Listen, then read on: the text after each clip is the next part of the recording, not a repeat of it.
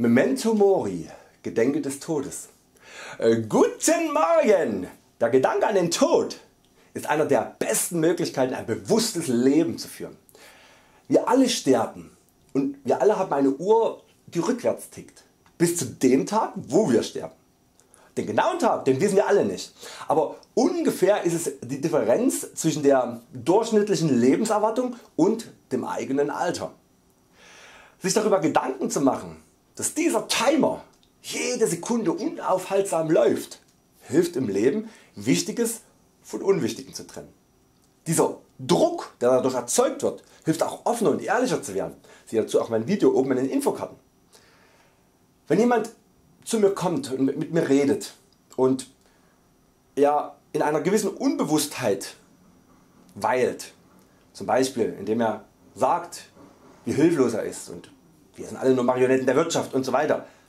Und ich natürlich weiß was kommt und er einfach dieses Schema wiederholt, was in den Medien, in der Angstindustrie oder der Wutbürger, was immer wieder wiederholt wird, dann weiß ich was kommt. Dann ist das keine Kommunikation die ich in dem Moment führen möchte und dann sehe ich meinen Timer vor meinem geistigen Auge ablaufen und sehe in der Zeit wie ich zum Beispiel Menschen mit Menschen mich unterhalten könnte, die, deren Kommunikation offen abläuft, die offen sind, wo man wirklich miteinander redet, wo man zuhört und wo man nicht nur blub. So. Und dann fällt es viel leichter zu sagen und natürlich auch in anderen Situationen ähm, die man bewusst vermeidet in seinem Leben, wo man einfach eine, ja, eine ganz normale Priorisierung schafft, dass man dann sagt, hör mal zu, äh, danke für deine Meinung, aber ich muss jetzt weiter. Ich muss jetzt weiter das Leben leben. Ich möchte, jeder hat die Chance seinem Leben einen Sinn zu geben und dieses Leben nach seiner Fassung zu leben. Und man ertappt sich und das ist bei mir genauso, dass ich mir auch noch dabei ertappe, dass ich in Situationen nicht mein Leben lebe und das was ich eigentlich tun möchte, sondern automatisiert in gewisse Verhaltensweisen rutsche. Und dann hilft es aber wenn man diesen Timer sieht, klick, klick, klick, wieder eine Sekunde weg die nie wiederkommt, dann hilft es dann ehrlich und offen miteinander umzugehen. Erinnert Euch an die Situation wo Euer Kind oder Eure Eltern oder Eure Freunde gestorben sind und wie ihr dann gedacht habt, Mann, ich rege mich so sinnlos über manche Dinge auf, dabei gibt es doch viel viel Wichtigeres auf diesem Planeten, in diesem Leben. Nur leider vergisst man das ein paar Tage später oft wieder und die Bewusstheit ist weg. Auch bei Beerdigungen werden viele über die Kostbarkeit des Lebens richtiggehend bewusst. Der Tod das Reflektieren über die Vergänglichkeit, das ist etwas sehr sehr wertvolles, weil es eben extrem bewusst macht. Und Bewusstheit lässt Tage wie Jahre ausdehnen. Ich lebe auch durch YouTube seit zwei Jahren so bewusst wie noch nie, weil ich so viel nachdenke und gemeinsam mit Euch meine Handlungen und Gedanken reflektiere. Das ist ein wichtiger Punkt.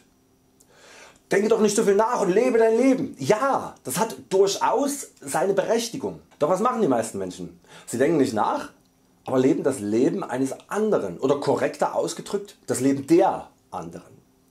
Sie funktionieren wie Automaten, wie Roboter, die seit frühester Kindheit nicht die Möglichkeit hatten sich zu entfalten.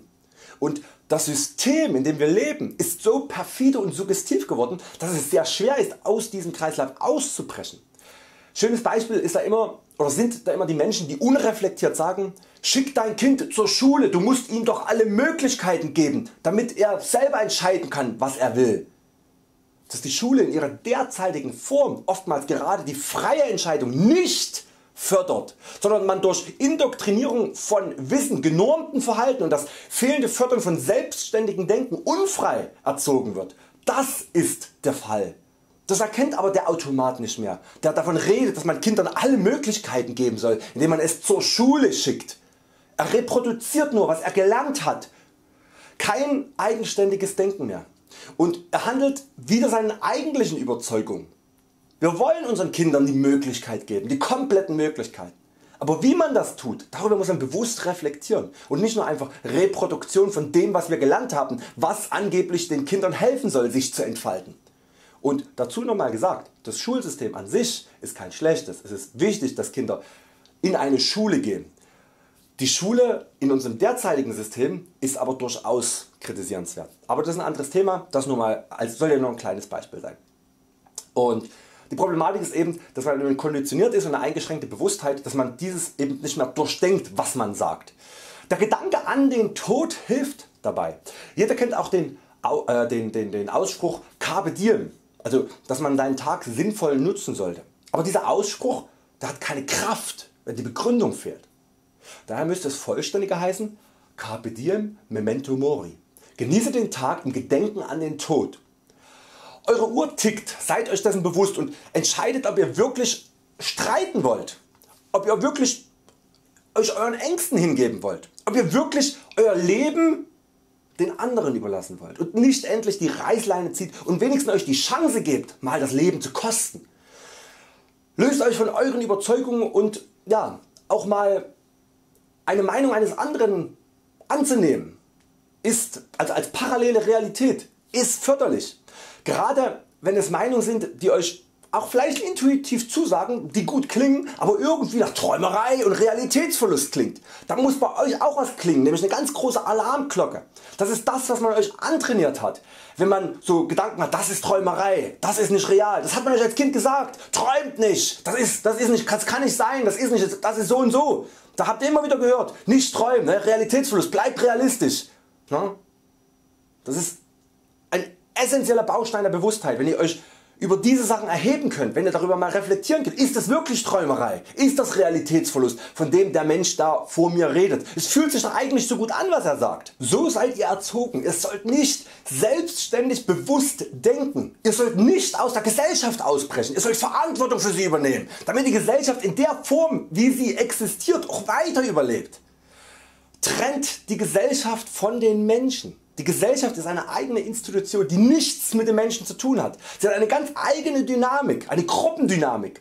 Ich rufe dazu auf die Gesellschaft zu bekämpfen, sie auszunutzen um das System der Gesellschaft zu Fall zu bringen, indem ihr die Menschen liebt und sie aufklärt, so dass Menschen ihr eigenes Leben können und durch ihre Entfaltung ihrer ureigensten natürlichen Energie auch wieder etwas schaffen. Und das nennt man Gemeinschaft. Es werden Gemeinschaften entstehen, voller Freiwilligkeit und Nächstenliebe. Gesellschaften mit Reglementierung sind dann nicht mehr notwendig. Aber dafür muss die geistige Evolution vorangetrieben werden, von Generation zu Generation. Und der Gedanke an den Tod, an die begrenzte Zeit die wir dafür zur Verfügung haben und, ähm, ja, und auch diesen ganzen Schmotter äh, aus, aus Sorgen, Hass und Ängsten einfach hinter uns zu lassen. Das ist wichtig. Lebt bewusst und Öffnet Euch körperlich wie geistig, lebt die Liebe und liebt das Leben. Carpe diem, memento mori.